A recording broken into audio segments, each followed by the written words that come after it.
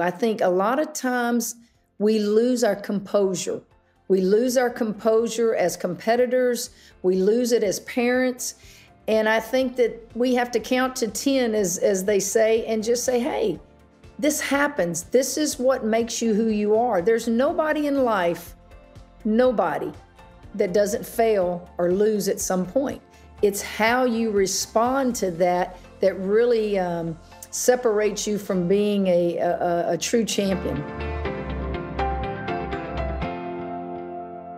What's up, everybody? Welcome back to another episode here on Youth Inc, presented by Audiorama, and as always, our friends at Invisalign. Um, well, as you can tell, I'm not in my normal studio. I am actually in a hotel room in the outskirts of Atlanta. I've been here now for four days. Tomorrow will be day five of one of those crazy baseball tournaments that we talk about a lot here on Youth Inc. Um, we have come down to Atlanta for the big Perfect Game World Series. There is 66 teams from all over the country, and we played two games on Friday, two games on Saturday, a game on Sunday, and that was just pool play. To, this morning, we advanced on to the championship bracket, and we played an eight inning. So we only play six, so two extra innings it was a wild finish. Uh, the kids fought back and we ended up pulling it out. So that's why I am coming to you from Atlanta as opposed to my studio in Charlotte. And uh, so we are tired. We have played our sixth baseball game, and tomorrow we could potentially play three more. So pray for all of us. It has been a long weekend of youth sports, but that's what we do here on Youth Inc. And uh, I think today's episode is going to be an absolute blast. We have Kim Mulkey. Um, she is, I'll tell you, I was blown away with our conversation. She was funny, she's smart, she's tough. Um, just her her mantra and her philosophies of coaching and parenting. It, you know, she's one of the most accomplished basketball coaches, male or female, in the history of of college basketball. And for her to come on and share her experiences, her upbringing, um, as an athlete, but then obviously her transition into a historic coaching career was just an absolute uh, pleasure to to speak with Coach. So a lot going on here at Youth Inc. As always, uh, thank you guys always for following along. I think you guys are going to love this episode with uh, with Coach Mulkey. Thanks as always to our presenting sponsor, Invisalign. Invisalign is the number one doctor trusted brand, having transformed 12 million smiles over the last 25 years. Invisalign gives you the opportunity to continue to make trusted decisions that can help you continue to build confidence for your child. So find your trusted provider at Invisalign.com or talk to your doctor. So now please enjoy this conversation with Hall of Fame basketball coach and head women's basketball coach at LSU, Kim Mulkey. Coach Mulkey, thank you so much for joining us today here on Youth Inc. Well, thank you for having me. It's an honor, and uh, I'm just grateful that uh, we can do this. As as am I, and, and our listeners and viewers, uh, they're going to be in for a treat because I think everyone who follows college athletics is familiar with your resume, your accomplishments, and uh, we're going to start from the beginning. You know, a big a big thing here on Youth Inc is we're kind of covering the journey and the story of what does you know today's youth sports experience look like, and maybe compared to the youth sports experience you know some of us had years back. So I, I want to take you back to growing up in Louisiana. Um, you know, it's well chronicled. You were one of the first females to to play organized sports here with with boys growing up, and and just where you built your you know your career as a player. Just take us back to your experiences early on. You know, what was it about basketball? Was it the opportunity? Was it just exposure? Like, what was it that gravitated you towards basketball, and and what went into an amazing career now as a coach in those early days? Growing up uh, during the time that I was, you know, 10, 11, and 12, you didn't have bitty basketball for girls or a basketball league for girls. What you had back then was like Dixie Youth Baseball and Pony League Baseball, and you had some softball, but not a lot of softball under the high school age. And so my first taste of organized sports was Dixie Youth Baseball with the guys at 12 years old. And I tried out, and I was the only girl, first girl to ever uh, try out and, and play in the uh, Hammond area and um, loved it. And I knew I could play with them because they were picking me every day at recess to be on their team. And I had nothing else to do in the summer, so I uh, tried out and played shortstop, pitcher, and catcher. I was the first one selected in the draft, and of course, Greg, you know what that meant. You're going to the worst team. of course. and so uh, made the All Star team and uh, didn't have a real good experience in the All Stars. I didn't get uh, to play in the All Star game because I was a girl. Uh, to shorten the explanation to all that, I had to stand outside the dugout, watch my team play. And of course, now we know uh, girls can play.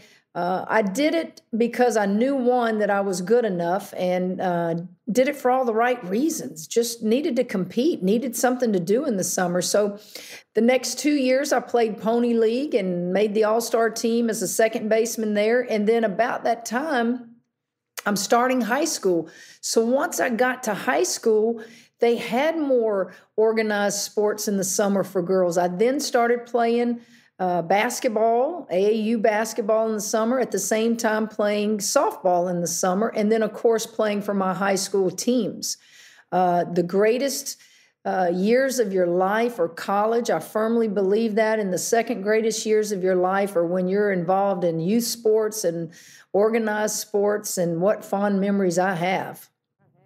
Uh, it, it's so true that the youth sports experience is it, there's nothing like it, and I'm going through it now as a as a parent. But when when you're 12 years old and you're standing outside the dugout, and and and you know you are you mature enough? Are you aware enough now, I, I, know you are looking back to understand the significance of what it meant for you to kind of pioneer that path and and kind of break through as a as a as a woman playing with boys.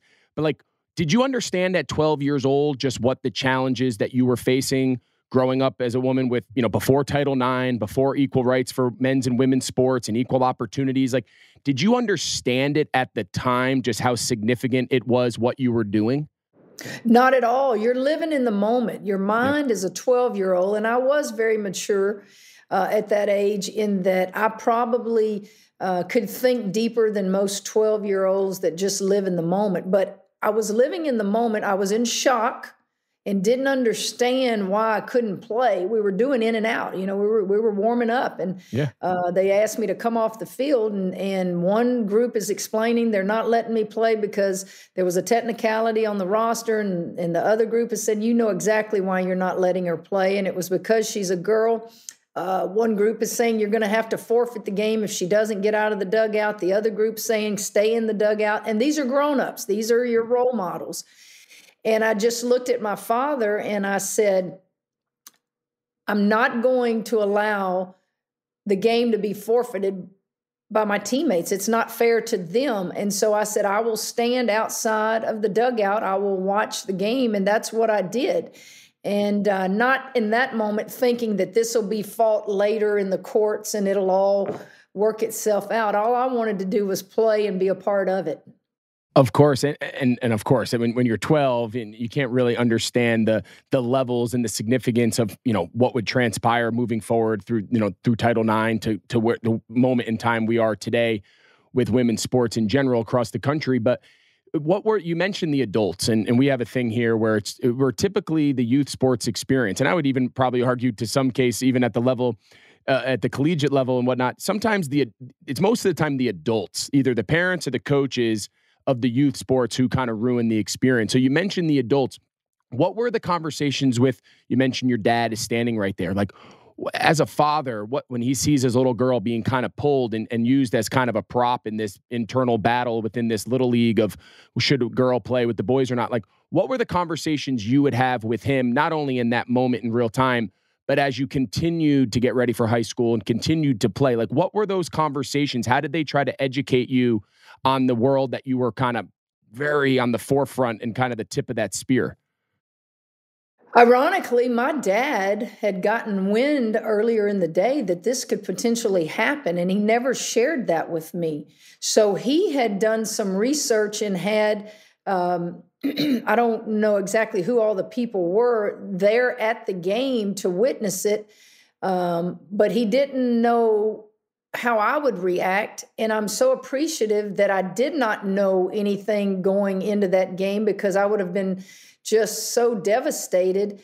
But I had to be who I was in that moment and my dad supported my decision and that was that was so big for me because a lot of adults don't listen to their children at 12 years old because they think and they are more knowledgeable and they understand things a little better but he could see the hurt in me but he also respected that I just didn't want to hurt my team I did not want me being a girl to be bigger than them winning a, a, baseball game and having a chance to continue on. And so after the game is when he shared with me um, how he found out about it and all the, the TV cameras and the people that were there at the game got involved. And I just asked him, do not um, allow anyone to disrupt what my team is trying to do. And dad, you can later fight this in the courts or take it wherever it needs to be taken. But I respect him so much for listening to me and understanding that my team and, and those guys in that dugout were far more important than me playing. It's just such a. It's just so incredible to hear at 12 years old that maturity. I, I think to the to the teams that we coach, and I and I'm trying to think to myself like, how would I have handled it today, let alone as a 12 year old. You know, if I, if that was my child, my son or daughter, and they were being used as a kind of a prop to kind of make a point or a political statement or you know societal whatever you want to call it how would i have handled it? And to hear you at 12 and then your father kind of handle it in such a mature way how, how much would you say that moment right? It was the first story that you brought up. It's the first thing we've talked about. So it's obviously you know very close to your heart very close to your mind. Would you say that you've carried that experience? Has that fueled you? Have you carried that passion and that commitment to team and sacrifice and the ups and downs and the struggles you've been through dealing with the adversity you have? Like, has that been something you've carried forward? Has that been a big factor into why you've been so successful? Greg, I think every experience we have yep. as people, uh, as athletes, it fuels you and it makes you who you are. Life's experiences make us who we are. It develops us, not necessarily our personalities.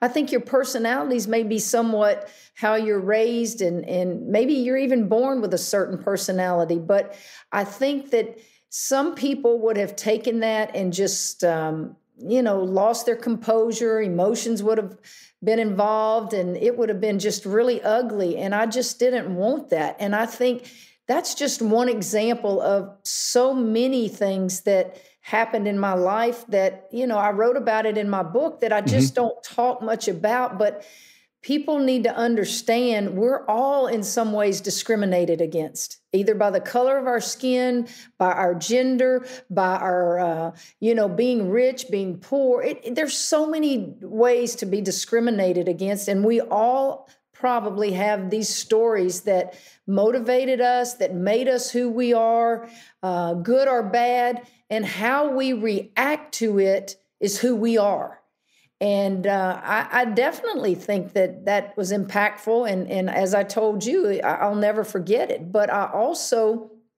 don't walk around with a chip on my shoulder. Uh, I don't let it define me. I don't let it make me a bitter person. Uh, you learn from it, and you learn so much about life through athletics. I tell people all the time I don't care if you're the superstar, you're the starter, you're the bench player, you're the water boy. I don't care. Athletics prepares you for the real world. And I believe that. It's it's so true. And, and that's something that we we talk about a lot on here. You know, that's that's a big part of the conversations we've had with a lot of our guests and just a big part of our philosophy here. You know, one of our key tenets is sports is so much more than the sport, right? And yes, you're you're going to show up to a practice and you're going to learn how to make a jump shot and you're going to learn how to, you know, dribble and you're going to field a ground ball or you know whatever the sport is. But can you, as a coach, can you, as a parent, as the adult, can you find all the other attributes that sports provide resilience, toughness, adversity, teamwork, you know, dealing, you know, maybe having, you know, different people with different goals individually, but coming together for one common goal? Just all these lessons that we can teach these kids. And that's something with a lot of the youth teams that we spend a lot of time in. You know, yes, we're here to learn ground balls. Yes, we're here to learn motion offense, but we're here to grow up as adults. Boys, I have a daughter also, she plays soccer. So boys, girls, all the same. Like, how can we learn these lessons at a young age through sports? And that's a big so to hear you kind of echo that is is very, very in line with how we operate here. Something else before we get into your obviously Hall of Fame legendary coaching career. One other thing, I'm always curious where people's passions come from. Like what you mentioned it, are you born with it? Is it something you develop? I believe every person has an innate kind of energy, an innate, you know, attitude, a, kind of a competitive fire. And we've all seen you coach. Your your career, your resume speaks for itself. You talk about when you're 12 years old competing with the boys. Like, can you put your finger on where it all started? Like, what made you the competitor and and the person that you are? Is there one moment? Is it just the way you were brought up? Was it your family? What what would you say if you had to put your finger on it? I don't know that I could pick just one moment. I, I think back in my life and I think, you know, what is it that made me um, so competitive? What is it that made me um, want to excel on the court, uh, on the field, in the classroom? Um, I don't know that there's one um, one thing. I, I, think it was just internal that I just wanted to sit and, and compete with the smartest kids in class, even though I knew they were smarter than me. I didn't want them to think I wasn't as smart as they were. So I would stay up the wee hours of the morning studying.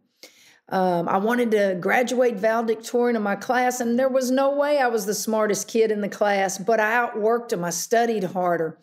Um, it just is a drive that you have. And then sports was something that made me feel good.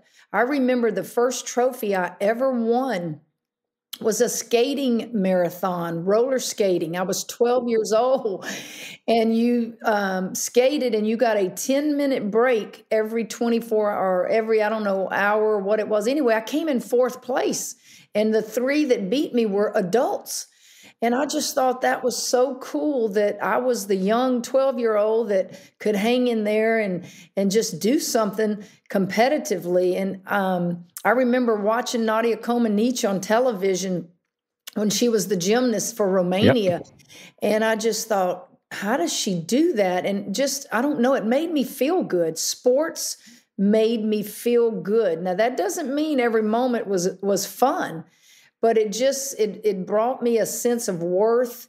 Um, it just was i don't know it's just something i love. And and to this day i still love it. I, I mean I, I was pumped last night watching the celtics and the the warriors and i was like that is the way the game is supposed to be played every time you step on the floor.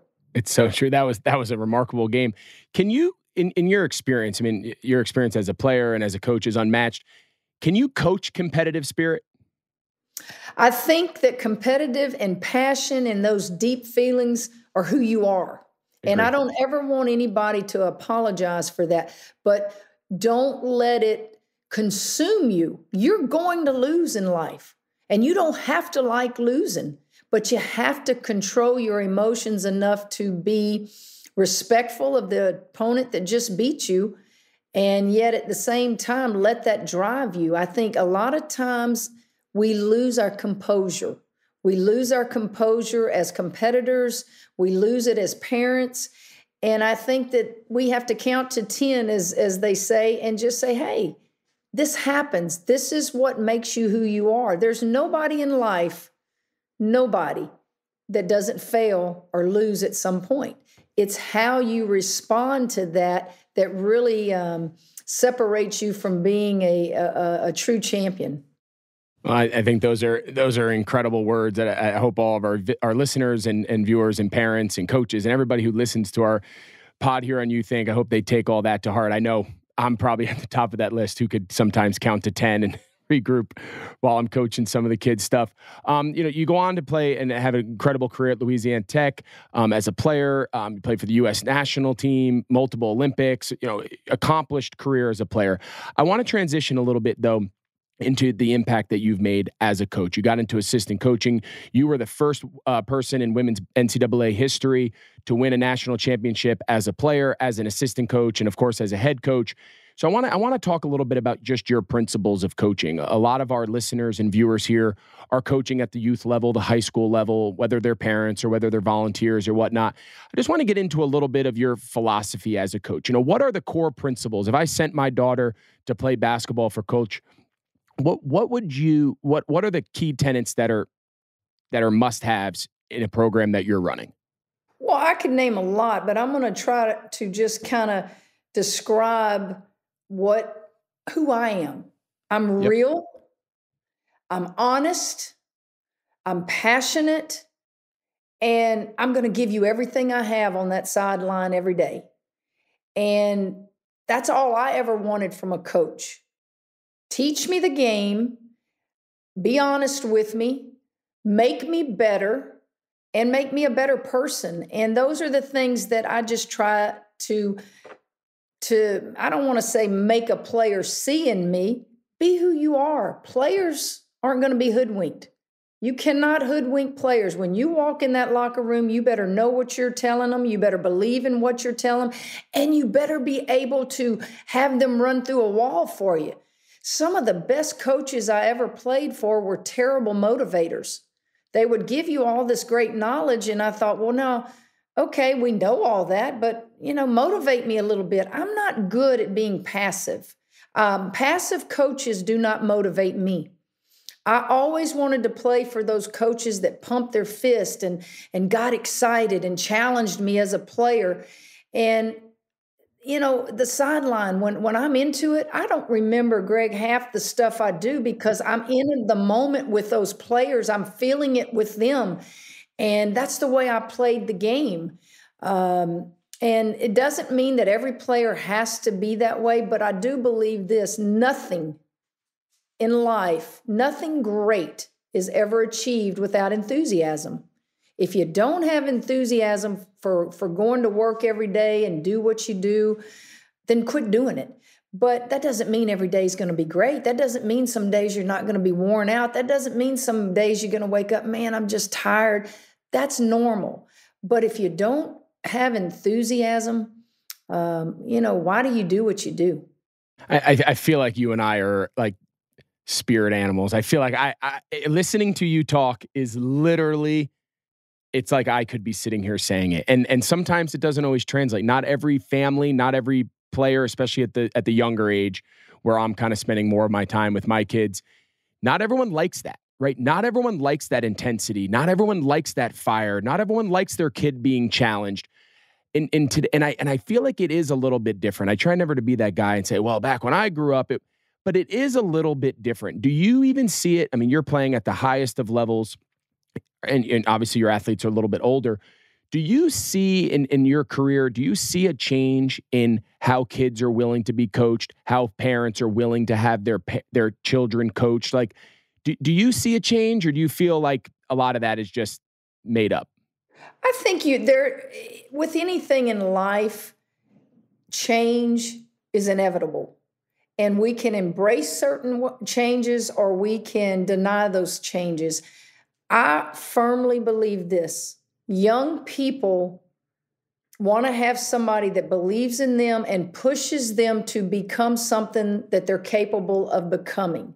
What gets in the way are parents who believe a, they know more than a coach or that that's just not the way to reach my kid um, okay, you do know your child better than a coach, but at the moment, step aside and go, that is that coach's profession.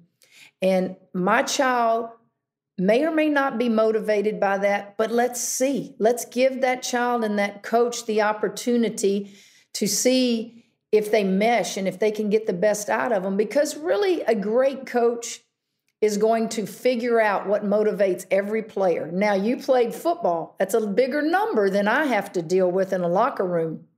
But it takes time to see is that child motivated by a wink? Is that child motivated by a quick kick in the rear? Is that child, you know, but you don't change how you approach the entire team in the game. Um, I just really believe that. Um, young people, I, I, will never change my mind about this. I do believe that they just want somebody to believe in them and help them become what they're capable of becoming. And it's not always going to be easy, it's not always going to be a pat on the back. But, eh, you know, society has changed.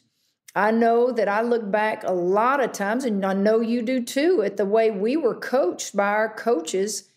Well, those guys couldn't do today what they could do to us back then. No doubt. And yet, Greg, it made us who we are. We're no not, doubt. we're not, you know, we didn't crumble. We're not, uh, we're not just uh, scarred for life. It's memories that we have, good or bad. We may agreed with them or not agreed with them, but that's life. And I just think sometimes we get caught up into everything needs to be sweet and nice and let's give a participation trophy. What are we teaching young people if we don't teach them how to handle different types of personalities, different types of cultures in that locker room, different types of failure? It's life. Life is not easy. And that's where athletics just gives you this free book. You don't even have to pay for it. All you have to do is sign up to be on a team and you learn this for free. And it's not going to always be the way you want it to be. It's supposed to be hard. Sure. That's that's what I try to tell my kids all the time. Like I can my kids are listening to this podcast the minute it comes out because I need them to hear it from you because they're tired of hearing it from me. It's supposed to be hard. If it was easy, it wouldn't be fun. There'd be nothing to achieve. It's supposed to be a grind. You're supposed to be able, it's supposed to be hard. You're supposed to be disappointed. You're supposed to push through it. That's the journey, right? That's the joy of what makes all this so special. And I completely agree. I believe with all my heart the people who limit kids the most are the adults. Yes, yes. If the adults would stop saying that's too much, that's too hard, oh no, that's too long, that if they just shut up and got out of the way and these kids want to do it. They want to be pushed to do it and all of a sudden they look back and they go, "Oh my god, I could do it." It's um, you know, what we're parents and we we talked before your show about we want to protect our kids. Without question, that is what we do. But protecting your kids from harm, you know, uh, is different than protecting them from learning how to deal with tough situations. I'll give this example. My son gets moved up a couple, two or three weeks ago to the Cardinals. Yep. Okay. Well, he's on the 40 man. There's going to come a day. It may be today that he gets called DFA. That's not a bad thing. People think, oh, if you get DFA, you're taking off the 40 man. No, that means you have an opportunity to go to another team that needs you or wants you. It's it's life. And and I just deal in the realistic um, world where I, I I don't want my children to hurt. You don't want your children to hurt, but guess what? That's what makes us who we are. That becomes our character, our destiny. Um, nothing in life is fair, nothing in life is easy.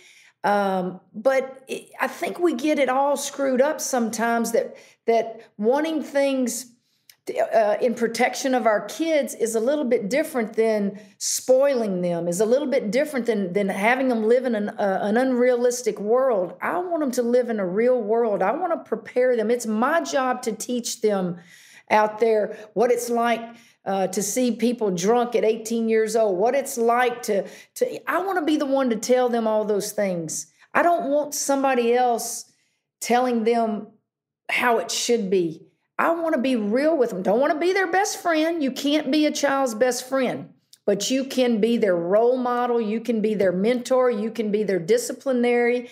Narian.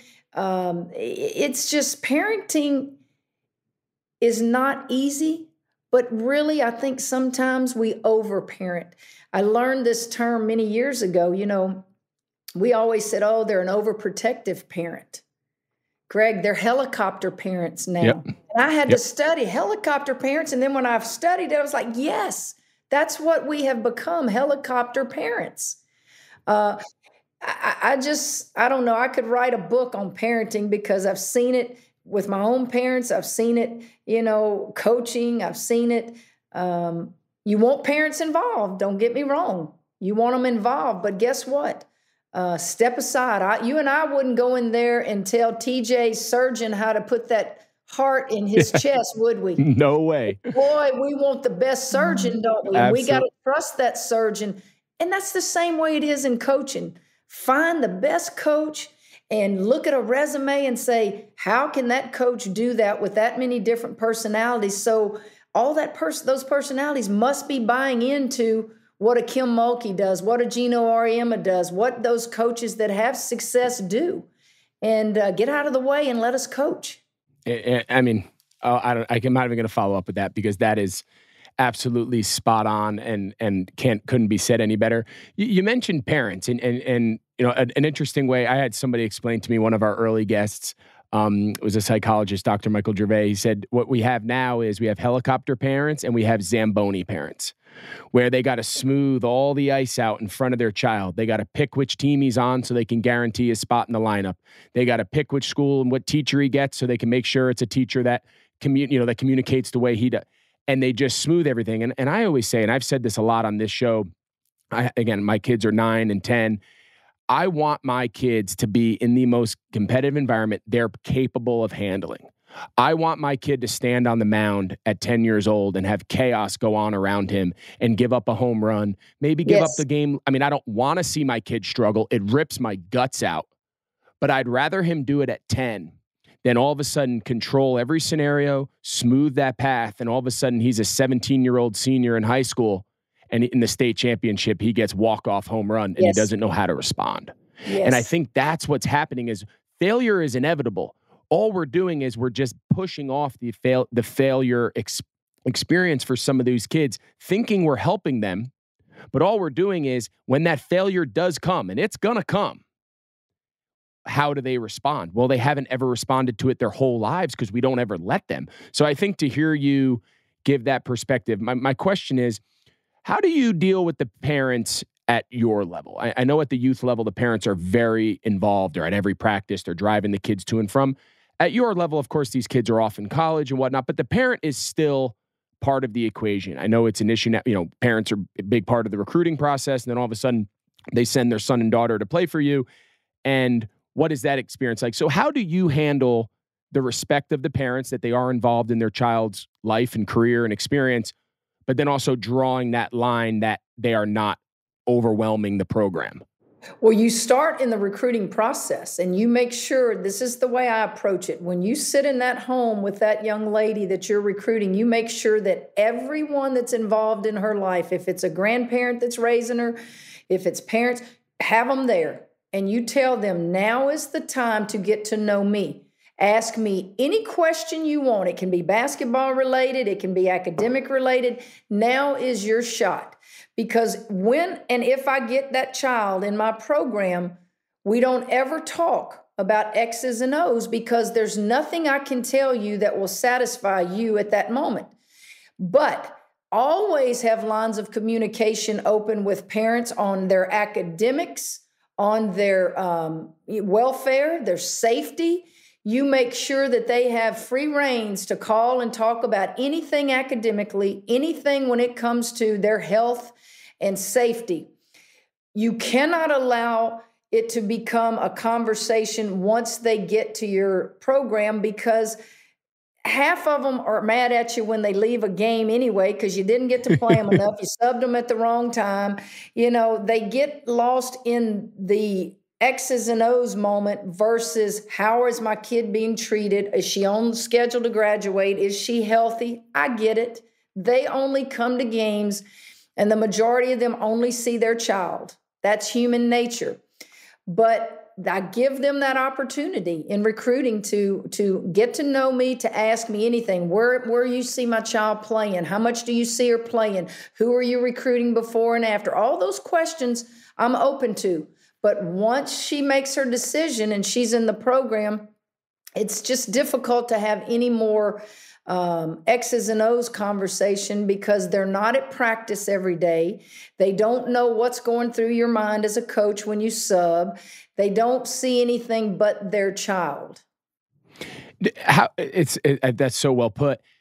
I I know a lot of people at the youth level struggle with that, right? There's a lot of in you know internalized. I don't want to call it guilt, but there's a lot of internalized pressure that coaches feel because they know a certain family is upset or they know a certain kid didn't play as much and they and they're almost they they know what's going through those other families. Some coaches don't care. It's water off a duck's back. They don't spend 1 minute. Other coaches are a little more sensitive to it. They they internalize it, they understand it.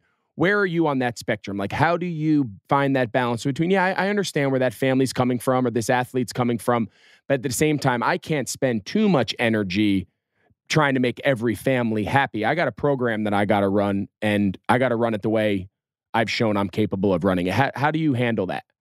I think you you're onto something that is really a touchy situation because when we say youth, we're thinking, you know, five, six, seven, you know, eight years old.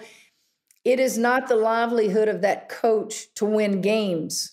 However, you just it's we're competitive most athletes former athletes those that are coaching their own kids you're competitive just internally so as a parent sometimes parents don't live in the real world and they think their child um, needs to maybe be on that really really good team and maybe your child needs to be on the lesser team to fulfill what you want you know them to do and i yep. think it's hard because some people have the philosophy greg that i'm paying the same amount of money that is we're at the same amount of practices they should get the same amount of playing time i see that on paper exactly what you're talking about but in the course of a game i think rules have kind of helped coaches knowing they got to play this many innings or you know this much playing time and it kind of you know, helps the coach. But as they get older, parents need to evaluate their own kids' talents and say, okay, if I want my child on that great team, I might have to understand they may not get that much playing time, but I could take them over here to this team and they could be the superstar on this team. So, whatever it is, be fair to your child. Don't cause a scene. Understand and say all these are teaching life's lessons, and it's not uh, a bad thing. Then, as they get older, you change your philosophy a little bit in that, you know, your kid may get cut. This is the livelihood of that coach to pick the best players. And so then that's another whole emotion that you have to deal with as a parent. But it's all good in the long run this is all good and you just can't allow it to overwhelm um, you on you know life's lessons that they're learning and i think what happens it goes back to we want everything to be perfect and easy for our children and it's never going to be that way god it's so it's you're eh, we see what you just said we see live out with our kids teams and sports that we coach on a daily basis. And, and I couldn't agree more. Sometimes on certain teams, if the expectations are clear about what the team's goals are and what how the team's going to be run, and the coach communicates that to the parents, that's all you ask as a parent. If it's a fit, if it's a fit for your kid's right. skill level, his commitment level, great, then you stick to it. If it's not a fit, I don't believe the team's responsibility is to morph themselves to the needs of the families. I believe it's the family's responsibility to find a team that is compatible with their own belief system, their own competitive system, their own abilities. I, I so I, everything you just said there, I I couldn't agree more, and I think it need, leads to a really important next question, which is, uh, what do you see as the balance between development and winning? And and I know you're in a winning world, or again, you're you're you're at a high, a very high level of, of athletics, but in its core, you do in your heart, I'm, again, not to speak for you, you in your heart recruited every one of these girls to your school. You want to see them develop and grow into great people and, of course, great basketball players. But then there's also the component where you're expected to win. LSU didn't pay you and bring you down there to not win, they brought you there for a reason. What is that in your mind? How do you find that balance between developing every kid on your roster but also saying, hey, at the end of the day, though, when games start, I'm going to play the girls who give us the best chance of winning. And that's the way it goes. Well, you said a mouthful. At the end of the day, whether it's pro sports, whether it's college, we have to win. That's what usually, unless you get in trouble outside of your profession, winning is what how we keep a job. But you have to make sure you're developing them every day in practice. You have to put them in situations every day in practice so that when the games come, you want the games to be easier than they are in practice. Sometimes that's not you know that's not available because like you don't have the talent yet you're recruiting the talent so in the perfect scenario, I am evaluating and practicing uh, every day harder than I do in the games. And then when you get in the games, the thing that's different is the lights are on, experience. And so, believe it or not, I can practice, practice, practice hard every day. And that's where you get your playing time. But there are those, and you know this to be true, that when the lights come on, you see a different player. Sometimes you see a player that's like, wow, where has that been? And then sometimes you see the player that's been great in practice, and boy, as they say in the locker room, they nut up in a game, right? Yep. yep. And so it's it's it's a you got to really really do a good job of evaluating. And so um, I never compromise winning at the expense of pacifying any kid whose feelings are hurt or you know who might need to get a few minutes in and all that. It's my job to make them better. Here's where, at our level, the only issue, um, and it's not an issue, but people want to see their kids play right out of the gate as freshmen.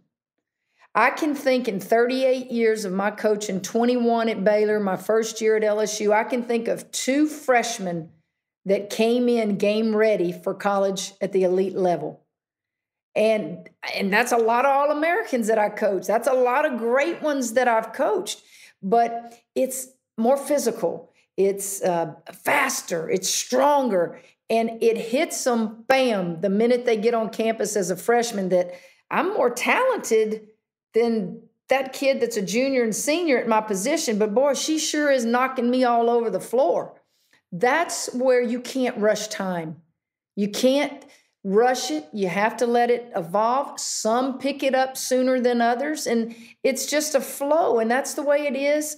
Probably at the pro level, you know, you can answer that better than I can. But um, it's just a, I hate the word process. I hate to hear coaches say, trust the process, because a lot of people don't know what that means. We know what it means.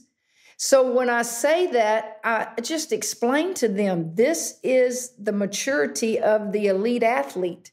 Yes, there are some that never have to come in as freshmen or first year players and and sit more than they like. That's that's God given, you know, above level talent that others don't have. But it just it's it's an evolution and it happens, and the great ones uh, just keep climbing that ladder. Yeah, it's so well said. And and and and any level you go up, whether it's from, you know, I remember my first day as a ninth grader in high school. Oh my God, eighth grade, you are the man. And all of a sudden yes. now you look down the you look down the lockers and it's the seniors, and you're like, I'll never play there. And then it's the same thing when I got to Miami as a freshman and and so on down the road. It, it, there is an evolution to the entire thing. So I think that's really important. The, the last segment uh, before we let you go, and we've talked a lot about obviously your coaching philosophies and your career. I want to just talk a little bit about being a parent and being a mother and your approach. Um, you have one son who you mentioned um, is in the St. Louis Cardinals um, major league. You know, just made the the major league team. Has been in their system for a while. Um, your daughter Makenzie, who then coached with you, but before that she played for you. Um, your national championship team, um, of course, in Baylor. I just want to talk about your philosophies now. Spin your cap around how you approached raising your children as competitive athletes. They both reached the highest of levels you know, what was your approach as a mom? You know, speak to the moms out there, the dads out there. You know, how did you raise two highly competitive athletes from an early age? Well, I think back, I was never going to be, uh, you know, this this mother. Oh, I want to have all these kids. You know, I never babysat growing up. I was always just playing sports. But I will tell you, the birth of my two children, and I know you know this as well. It's the greatest thing ever. Uh, it's it's just it it it's awesome. And they grew up in a house, um, and all they ever saw was ball games. And so, um, but yet they were both they both understood that if you never want to play sports, tell me what it is you want to do and let's get involved in something. Find your niche. That's all I ever told them. Find your niche and mom will be there. Then, when I went through my divorce, it was basically me and the kids. And I have a very simple philosophy. I told them, I will be at all of your ball games. unless you know i'm in the hospital i will work my schedules around your ball games because greg i never wanted and i this sounds a little bit gory i guess but i said i never want them to look at me in a casket and say my mom's career was more important to her than us I so, have that's so powerful. Practices to go to their games. I played. Makenzie played for the state championship in high school. I had to get somewhere in an hour and a half. We were getting ready to play. It's work, and you have to have help. Uh, but I, I just I didn't want to miss anything they did. I would go, and you can appreciate this. I would go after my practices and sit in my car and I would eat a little snack and I would watch Kramer in his eighth grade football practices because I loved it. I loved it. I, I, the coach in me, the mother in me, I, and they never knew I was sitting in those cars, not to evaluate a coach. It was just, I love sports. And um, I had Makenzie's coach tell me one time, she said, Kim, everybody asked me, how difficult is it to coach Kim Mulkey's daughter? And she said, That's ridiculous. See, people get these preconceived uh, opinions that God, that would be intimidating. Man, she's looking over your shoulder, everything you do. And she just laughs about it. And she says, maybe the greatest parent I've ever had in a program. She stays away, call her if you need her. But yeah, she's sitting up in the stands and she's watching. Well, so what? You think she's going to sit there and make a call to me and say, man, why did you run this? Or you should have run that? Or what were you doing here? And so we laugh about that. All the coaches that have coached my kids will tell you she's just a, an ideal parent uh, because I know the perception out there, you know, because of what I do for a living. But I never want to miss anything they do. Uh, I know not all parents can say that. Their jobs can't don't allow them to do that. My job did, and uh, and it, it was just it's wonderful. Just like now, I wish I could see every one of Kramer's pro games, but obviously I cannot. But man, when I can can do it, do it and get there, I do. Of course, watching your kids play, there, there's nothing better. I, I, can relate a lot to what you're saying. I missed a lot when I was playing. You know, I, mm-hmm. I missed a lot in the fall. Um, you know, I wasn't around much, so spring was always a big deal to us, which is why we play a lot of baseball. You know, I was that right. was the season where dad was around. He could take yep. us to practice, take us to the batting cages, coach the teams. So we always went overboard in the spring and summer. And now, it just as a byproduct, we spend a lot of time. My daughter plays spring soccer, so the spring is always kind of the highlight. But I'll tell you, I've rearranged vacations, speaking engagements, Yes. I, I've turned down going to events, endorsement deals, you name it. If it gets in the way of a tournament, I'm not missing it. I am not missing my kids' tournaments. I will skip out on things that pay me money. I will skip out on things that I won't do it. And um, but it's a again, it's a privilege to be able to make those decisions with your job and whatnot. So I recognize that, but uh, there's nothing better than watching your kids play. Hey, and it's not just in sports. If you have one that's not into sports, man, I may not know what you're yeah. doing if you're in music because I can't carry a tune. I know, but I'll be right there at the recital. It doesn't course, matter. Absolutely. Whatever your kids uh, do, you need to be a part of it. And you need to, all they want is to say, my mom and dad are here. That's yep. it. Yep, they, they don't care. care. how much you know. They just want you to hug them, whether they played a, a, musical instrument worth a flip that night or if they were the star that night. Just hug them. You're here and be in the moment with your child. And I'll say that whether it's sports or whatever it is, be in the moment. And I bet you, like me, when you couldn't be there when you were playing, it's amazing what FaceTime does, right? oh, right? man, I've seen so many games on FaceTime. My wife's holding her phone. I'm like, Stay, hold the phone still. She's like, stop yes. yelling at me. yes, yes. Oh, it's because so true. Here's what would drive me nuts. If I couldn't be there, I'd say, what inning is it? How many outs? And this person wouldn't know. And I said, look, I'll just talk to Kramer afterwards. You know, they're just there. It's so true. It's so true. Something else that comes up a lot. We talk to a lot of you know some of our guests. I, I was coached in high school. Our viewers know this. I was coached in high school by my father. He was a 40 year public high school football coach. My mom coached softball in high school. She was a PE teacher before she had us, and and didn't coach anymore. So again, I grew up with two brothers, all boys, all sports. Very very similar to what you're saying, and um, so the idea that coaching your kids and coaching other people's kids are very different. and he was very hard on us. He he always told us. He said, "Listen, if you want to play on my teams, I'm going to coach you harder than I coach the other kids because then none of these families will ever come down here and accuse me of favoritism or my kid's the quarterback because he's my kid." Did you ever coach either of your two kids? Did did you ever like I know your time and, and whatnot was hard, but like even when they were young, did you ever coach their teams officially? I never coached their teams. I had my husband was a he's a former college quarterback. He played at Louisiana yep. Tech. They won a national championship. He did all the coaching of their teams. So okay. I never had to do that. Now you you said a mouthful with your dad. When Makenzie came to Baylor to play for me, I didn't have to sit her down and, and tell her this is the way it's going to be. She just knew. She knew the criticism that was going to come from, you know, being my child. She knew how hard I would be on her. Uh, and honestly, I probably delayed playing her at Baylor and should have played her earlier than I did. But I rather I would rather err on the side of people saying you were too hard on your kid. You should have played her her junior year more than saying, "Oh man, she showed favoritism. She should have never been on the floor." We're good with that. My children are good with that. Um, but yeah, your dad's right on. It, it, it's you don't treat your children and others because of the fact that if your dad is going to do justice by you guys, it's going to be we're going to be harder on you. We're not going to do just the opposite and show favoritism. When you look back on on the run you had, you know, from from 2010 to 14, you win a national championship in in 2012. Your daughter's on the team. Like, do, do those four years? I mean, you've accomplished a lot. You've coached some incredible players, some incredible teams.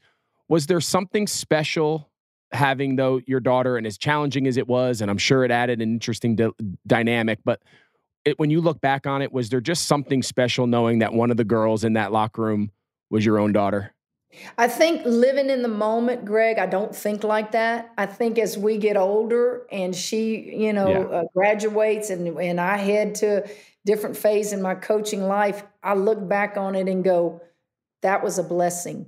Yeah. And not many college coaches get to coach their kid who is good enough to be on that court and not just a, a, a jersey number sitting on the bench to yeah. say, you know, that's my, grand my my grandchild or that's my my daughter. She was a contributor to the 2012 undefeated team, and then yep. the next year she's a senior, and we make it to an elite eight.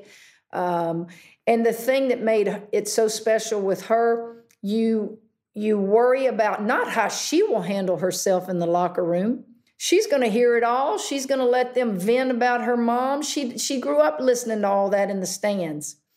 But it's how those teammates respect her and they can become comfortable saying whatever they want in front of her about her mom. And I had one of uh, my former players just say, Coach, we would have never known Makenzie was your child by the way she conducted herself in the locker room. We never, ever hesitated to vent. We never hesitated to throw a towel or get mad at you and said, it just didn't phase her. And she said, Wow, how many young people could do that?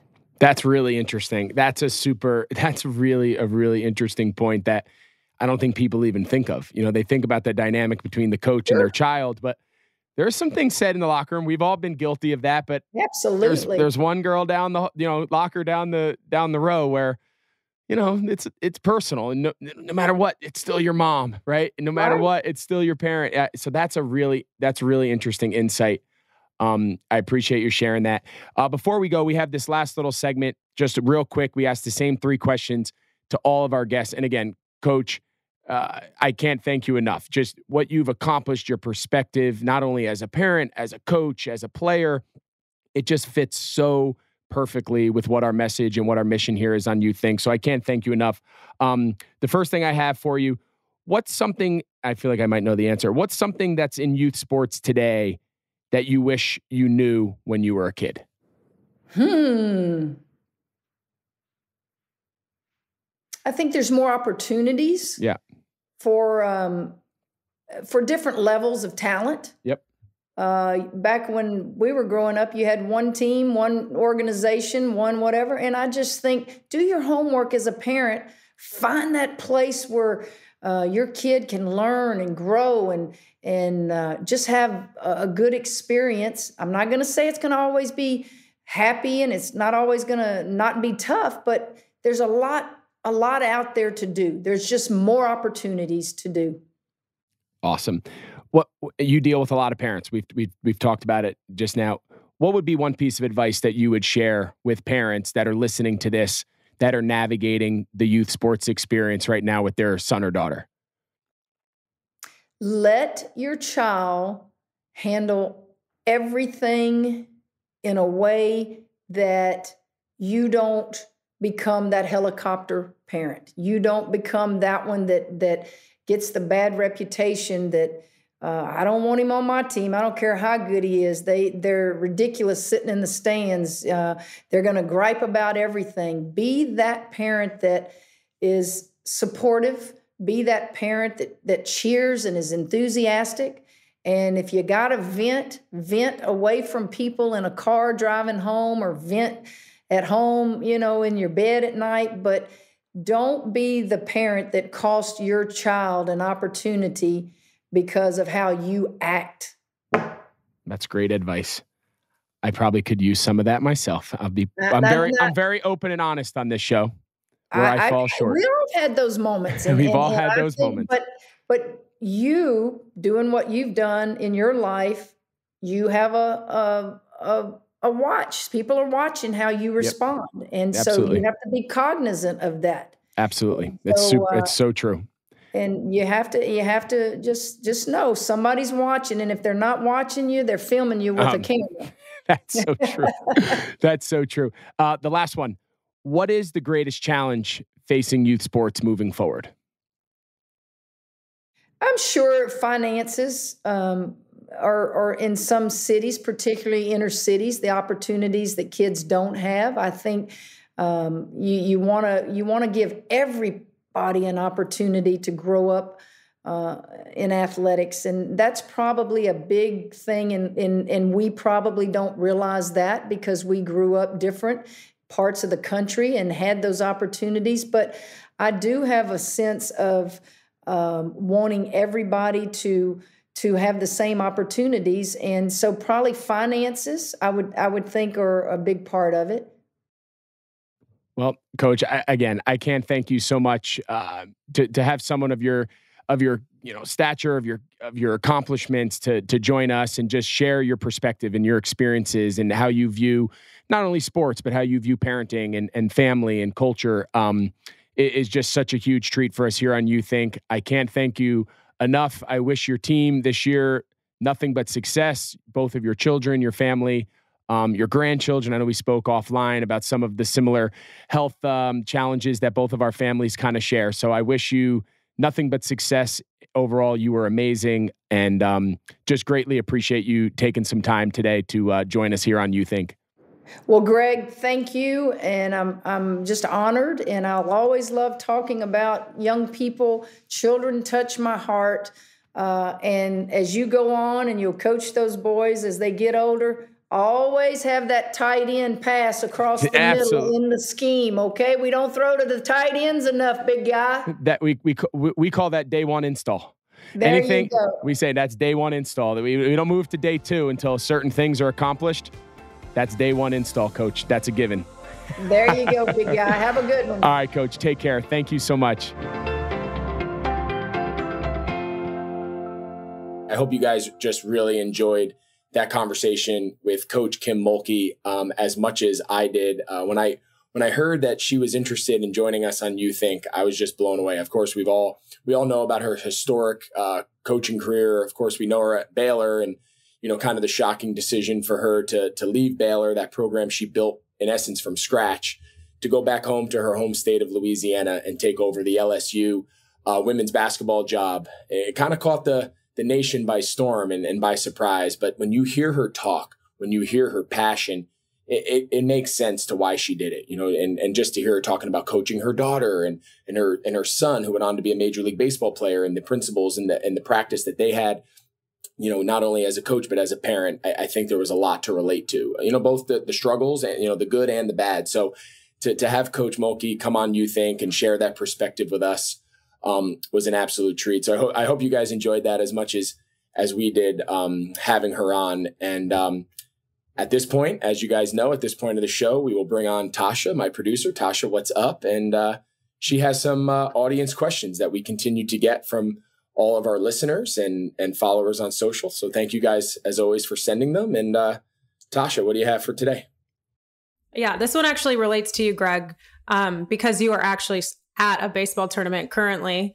Someone wanted to ask the amount of yelling instead of coaching that goes on at youth sports is completely outrageous sometimes, which you've probably experienced at this tournament. So, what is your advice for coaches on how to make sure there's more coaching going on than actual yelling?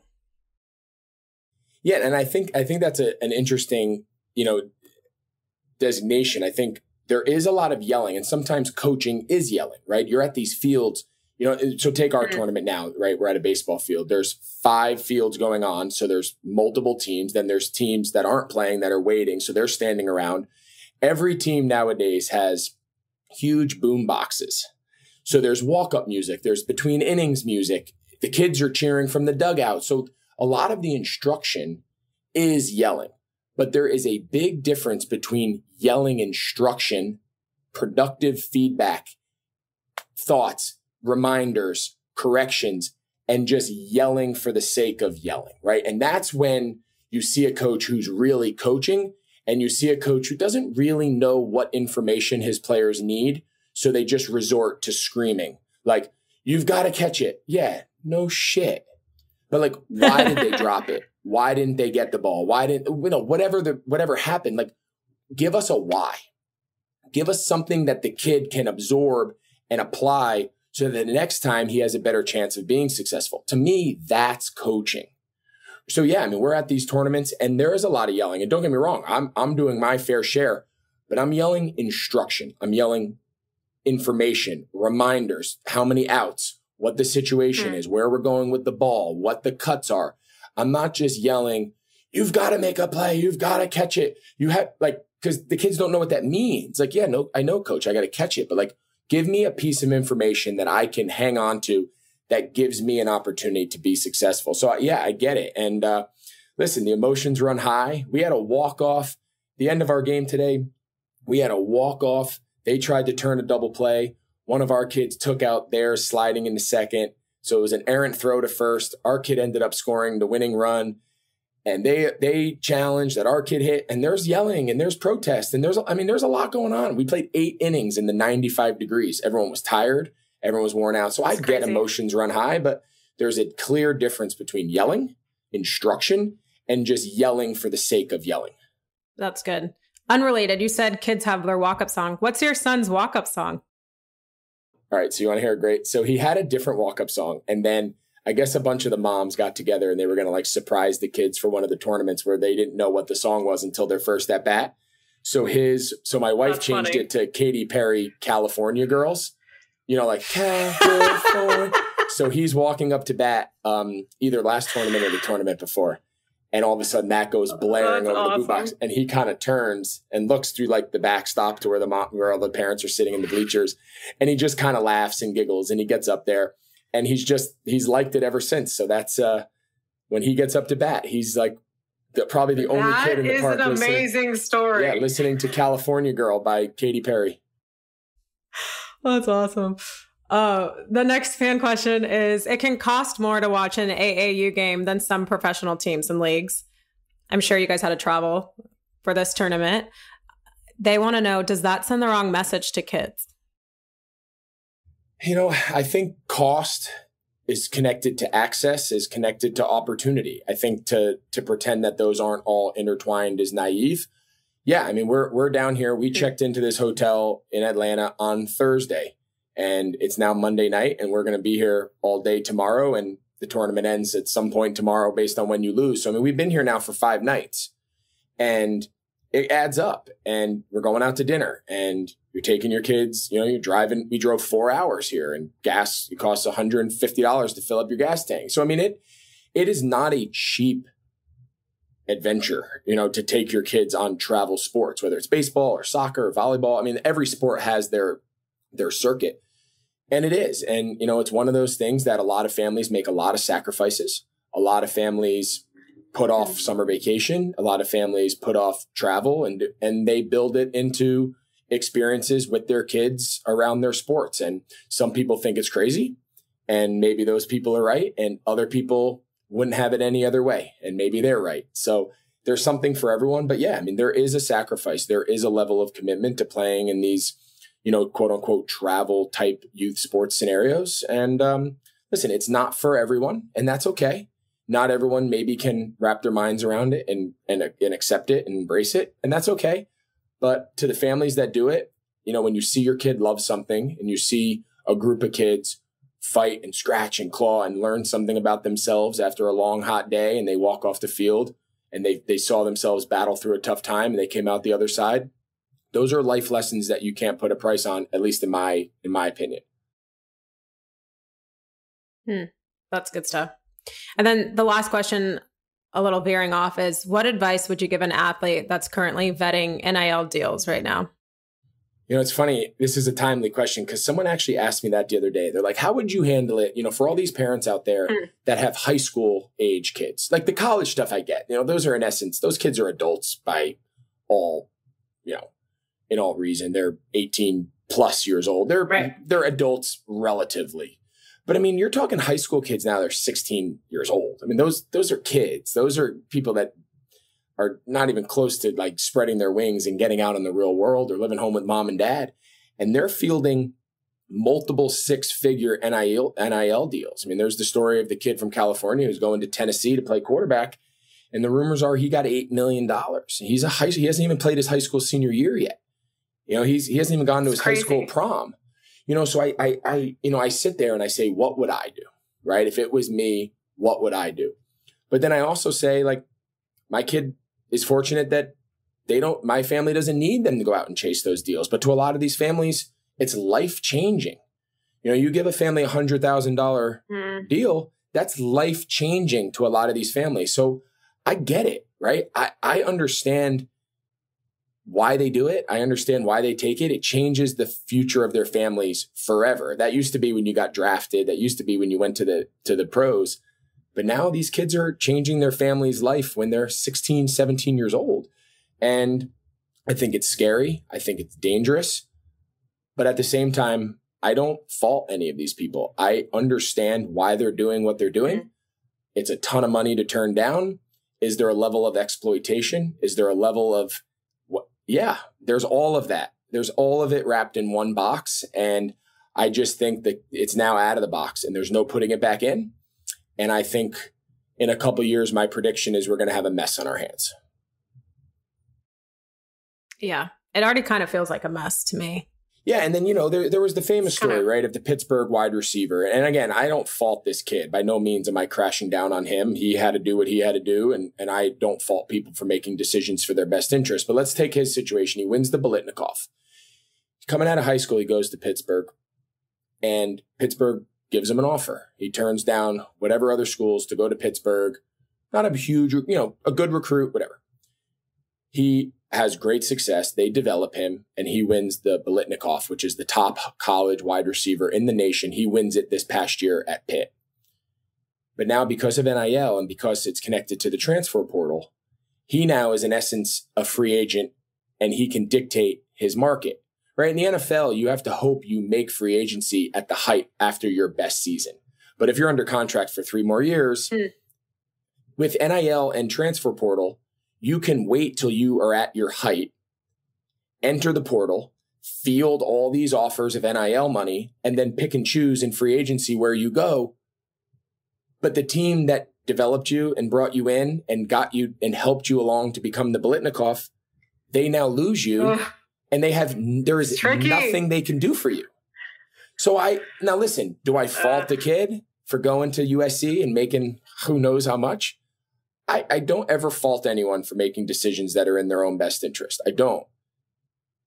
But I do say, like, what are we doing here? I mean, this, I don't know. I, it's yeah. a, I just think there's an argument for all sides, and I uh, and I just find it to be very messy and very, I don't know. I, I just I, I hope in five years we don't look back and say, oh my God, look what we created. Right. Right. But the kids just got to do what they got to do, I guess. Uh, yeah, and listen, I don't fault that kid. He's changed his life forever. Whether he plays it down in the NFL, that money he's getting in NIL is life changing money. And what yeah. you're supposed, and now you're supposed to accept yeah. that that kid's supposed to turn it down. No, he's playing by the rules that have been laid out in front of him, and he's taking advantage of this of the landscape. I don't fault anybody for playing by the rules. He didn't make the rules. He's just taking advantage of them, and I don't blame him. Yep. Well, that's all for the fan questions this week. And you can submit them via Instagram, TikTok, or Twitter at Greg Olsen or at Youth Inc.